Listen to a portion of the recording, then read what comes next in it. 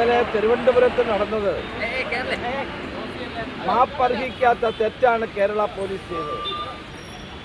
ഇന്നലെ സമരം ചെയ്ത വിദ്യാർത്ഥികളെ ഭീകരമായി മർദ്ദിക്കുകയും ആശുപത്രിയിൽ എത്തിച്ചിട്ട് ചികിത്സ പോലും നിഷേധിക്കുകയും ചെയ്തിരിക്കുക. ഒരു വനിതാ പ്രവർത്തകയെ അടക്കമുള്ള വിദ്യാർത്ഥികളെയാണ് ഭീകരമായി മർദ്ദിച്ചത്. ഇന്ന് അതിന്റെ ദൃശ്യങ്ങളൊക്കെ പുറത്തു വന്നിട്ടുണ്ട്. കേരള പോലീസിന് എന്ത് പറ്റിയെന്നാണ് എന്റെ ചോദ്യം. കേരള ആഭ്യന്തര വകുപ്പ് കൈയാളിന്റെ കൈയാളിന്റെ മുഖ്യമന്ത്രി ഇതിന് മറുപടി പറയണം. ഇങ്ങനെയാണോ വിദ്യാർത്ഥി സമരങ്ങളെ നേരിടുന്നത്?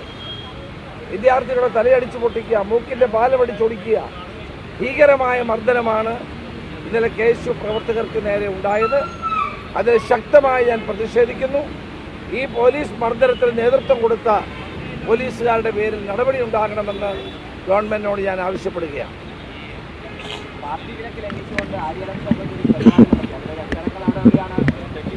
തീരുമാനിച്ചത് അതിന് ഏ, പാർട്ടി ആ പരിപാടി വേണ്ടായിരുന്നു തോന്നുന്നു അത് അച്ചടക്ക സമിതിയുടെ പരിഗണനയിലിരിക്കുന്ന ഒരു വിഷയത്തിൽ ഞാനിപ്പോൾ പ്രതികരിക്കുന്നത് ശരിയല്ല.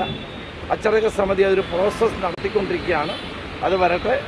ഏതായാലും ഇന്ത്യൻ നാഷണൽ കോൺഗ്രസിനെ സംബന്ധിച്ചിടത്തോളം എല്ലാവരെയും ഒരുമിപ്പിച്ച് മുന്നോട്ട് കൊണ്ടുപോകുന്ന ഒരു ദൗത്യമാണ് ഇന്ന് ഏറ്റെടുത്തിട്ടുള്ളത്.